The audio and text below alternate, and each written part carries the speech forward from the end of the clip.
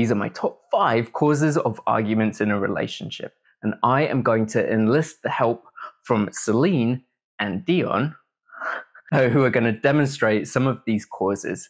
And we're going to start with the aggressive, passive aggressive dance, which is perhaps one of the more common causes of arguments in a relationship that I see in my private practice. Dion was so excited about the new Marvel movie that had just come out. He'd bought the cape, reserved the tickets, and was acting basically like a 12 year old the week leading up to its release date. And Celine said she would go see it with him, even though she loathes any kind of movie where people can fly and there are aliens from other dimensions.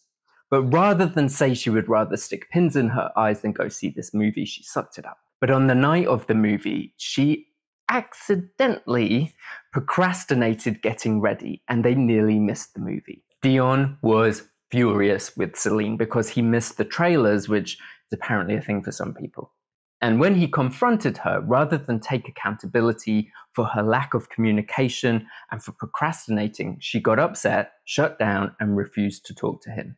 And this obviously made Dion even more angry, which made Celine more likely to shut down, and we're in a loop. This is one of the more common causes of arguments in a relationship in which one partner keeps their thoughts and feelings about a disagreement or a confrontation inside. Now, to be fair, most of the time, this partner is unaware of both of their feelings and the behaviors they're exhibiting. But unexpressed thoughts and feelings often come out in unconscious ways, which is the passive part of passive aggressive. But that makes the other person even more upset, and that closes the loop. So Celine is the stonewaller. Like a cat, she acts cool, but on the inside, she keeps her anger hidden. She punishes Dion silently, which creates more drama and more friction. Because when you don't talk about what is going on with you or you withhold feelings, it is an act of hostility. The silent treatment is hostile. And hostility will often get a reaction from your partner, and the chain keeps on going. The skills that Celine really needs to learn are all about talking about anger, not being afraid of confrontation, and uh, learning how to assert yourself. Without these skills, they're going to be on this repetitive loop, which is one of those main causes of arguments in a relationship, and it'll keep happening over and over again. And I tend to find that arguments in relationships like this are exactly what brings people into my private practice. If you are finding that you're having the same fight over and over again, you're probably in a similar pattern. Until we can learn to spot these automatic behaviors and develop new skills to break the cycle, we might be stuck in them for a while. If you don't know me, my name is Oliver and I'm a family and couples therapist in Los Angeles. I love helping people grow great relationships. And in particular, I love helping people turn conflict into connection. I try and put a video up each week, and there's usually handouts and activities and PDFs for you to download that are all completely free. So please hit subscribe, and that way you will be the first to know when I post something new, and you can get that download straight away. In this video, I want to look at the top five causes for arguments in a relationship that I see in my work as a therapist. I've got four more of these patterns that you should be on the lookout for in your relationship. The second reason for arguments in a relationship is when one partner withholds feelings until they are ready to explode. Like a dormant volcano, this type of communication is actually a lack of communication until their anger builds up over a long enough time to detonate and explode.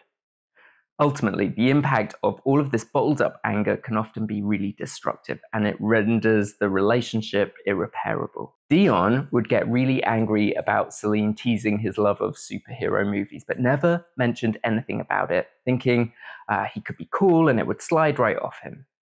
But Dion often felt like an emotional punching bag for Celine, and um, he felt that she didn't really see all the good stuff she was doing. She was only really focused on the things she didn't like like the Marvel movies.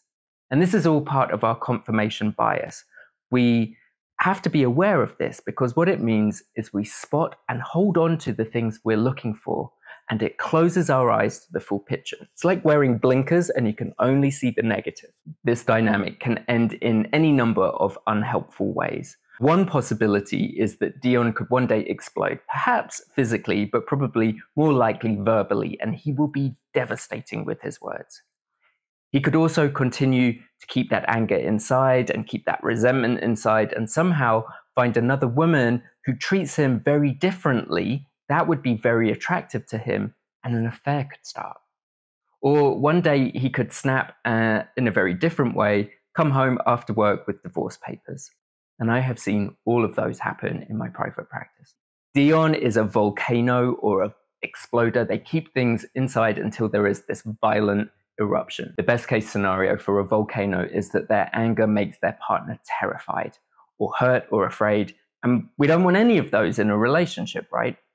But in the worst case, that explosion is so bad that there's no coming back from it. Dion really needs to work on communicating his anger in healthy ways, being more aware of what is going on inside of him so that he can share it before it bottles up and becomes explosive. Before I go on, if you want to find out your pattern of conflict in a relationship, take our free quiz to help you identify your conflict style.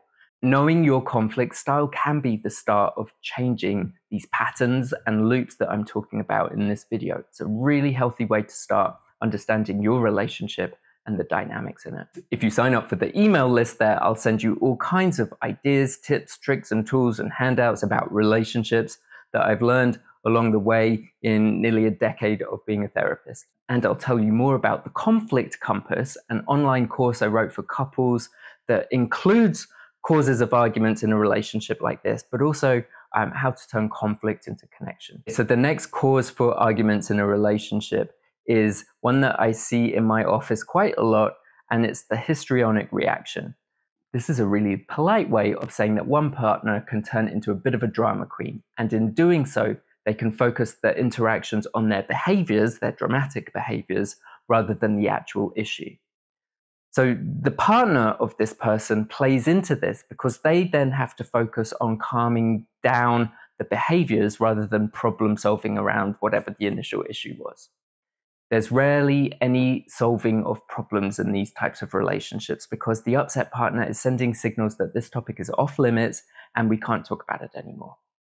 Whenever Dion brought up an issue he had with Celine, she managed to turn everything into a woe is me pity party. It's all my fault, or I do so much and I, you don't appreciate what I do, and you don't love me, and what's the point in even being with me anymore? This type of reaction is probably unconscious, and Celine probably doesn't realize that she is playing the victim.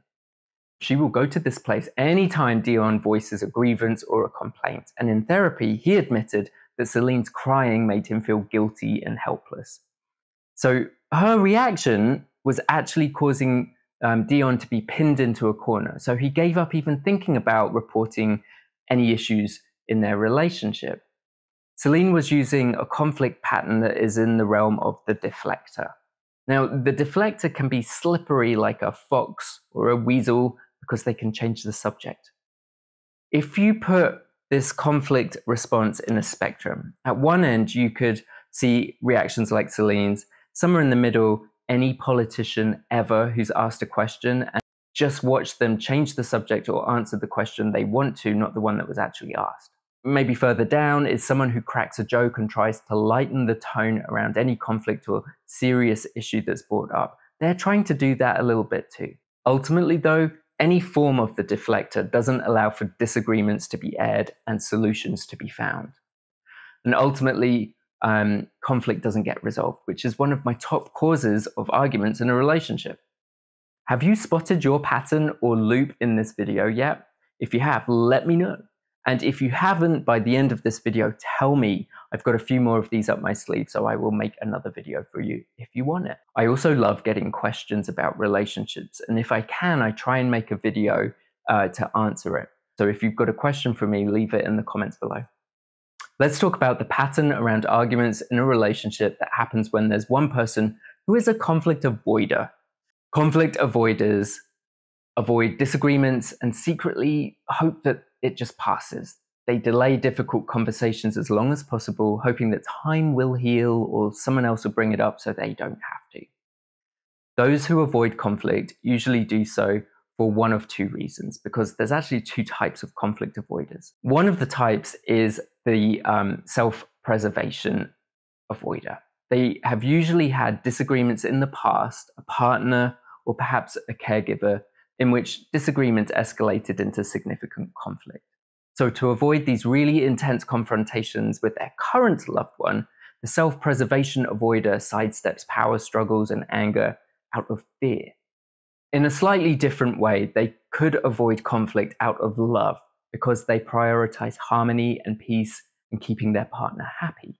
But in doing so, they might find that they're suppressing their own feelings and needs and sacrificing their sense of self for the other person. That doesn't go anywhere good because resentment builds up over time. But the direct impact of this pattern is that the avoider tends to distance or shut down in the way a turtle or an ostrich does. They actually vary how long they close off for, some for days, some for weeks, some for months. The self serving avoider dodges conflict for their own reasons. They might want to jump over discussions about their own behavior to escape accountability. By not being transparent about their actions, they free themselves from responsibility. They might make decisions, for example, that are not in the best interest of the relationship and then justify those actions by saying that they didn't want to stress the other person out. This is a form of conflict avoidance and it can be really destructive as it evades accountability. In grown up relationships, we have to own our faults and our behaviors. We can't blame the other person or other things. And if it sounds familiar, it is a bit like what the deflector does. So Celine was actually raised by a mother who would shun her for months if she failed to do what she was told. And as a married woman, Celine is finding that she's doing the same to Dion. And Dion told us in a session that this was so potent that he was actually afraid of Celine and backed off even more from the relationship. And of course, this emotional distance can be a huge cause of arguments in a relationship. So, what do you make of this one? Is it familiar to you? Drop me a comment below. If, and if you're enjoying this, hit subscribe, and that way we can stay in touch whenever I post a new video. Also, feel free to check out the Conflict Compass if you want more information, more tools and techniques to deal with conflict and the patterns just like this that we're talking about. Last of my top five causes for arguments in a relationship is the criticizer complaint loop. So I recently got a complaint about my TikTok videos because I was putting the automatic captions somewhere on the screen that didn't make sense. And according to the person that sent me this very polite message, these captions were covering something else up on the screen, and she said it was really hard to read. But that was a complaint. It was a very nicely worded complaint, but it was still an expression of dissatisfaction with me my work and something that I'd. That complaint helped me improve my TikTok videos so that more people can read the captions, and I took it as feedback. So, in an ideal world, complaints in relationships are kind of helpful. It's valuable information that we can use to work together to fix some of the things going on in our relationship or make things better in our relationship, make us feel more connected. A complaint can be ignored or valued. Sometimes, when complaints go unheard, they escalate over time and then they turn into criticism or disdain. This is a much more mean and sometimes a vicious personal attack. Celine told me that Dion would often make comments about how long she spent in the bathroom in the morning, making little jabs about her being a narcissist or self obsessed, which clearly doesn't set the day up for a great start.